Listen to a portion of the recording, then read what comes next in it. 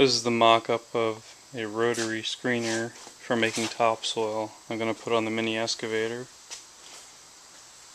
Just like the skeleton bucket, I'll use the same top tube, cutting edge, angled up a little bit. So when you have the screen horizontal, it'll keep everything in the screener here. I got some expanded wire, expanded metal. Then I'm going to put in these openings. Uh, the end plate here, I'm going to put a one inch shaft through it with a bearing mounted here and a sprocket coming up. There'll be two cross tubes. Probably use this two inch I got here.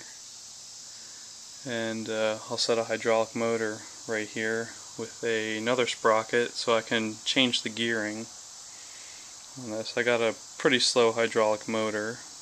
Uh, but then I'm going to cut the speed down to half of what that puts out. And I'm going to have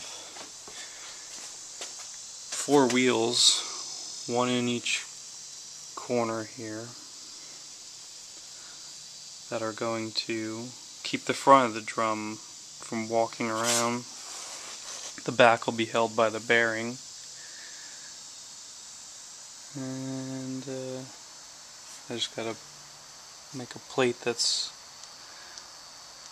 angled to the shape of the drum in the front here off this cutting edge and I'll have half inch side plates to tie everything in together and not sure about the coupler. Probably put it close to the front here like a normal bucket. So that's where all you know all the force up here at the cutting edge so I got the motor ordered surplus center and most of the other parts to to make this. I'll just need hoses and quick couplers to hook up to the auxiliary hydraulics on the machine.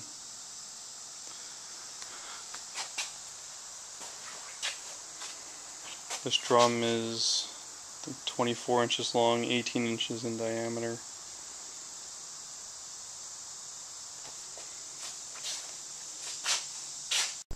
Getting the screen put in the drum.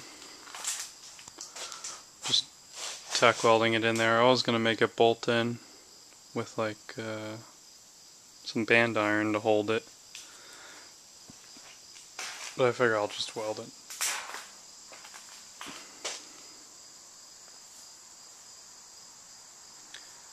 It's a 9 gauge flattened expanded metal.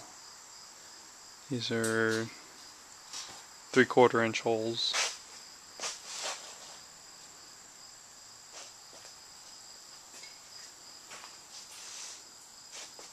I wanted them this way, this is the way it'll be spinning instead of the other way. The other way I could have got a, a full piece in there, but I have to cut a piece and put in there.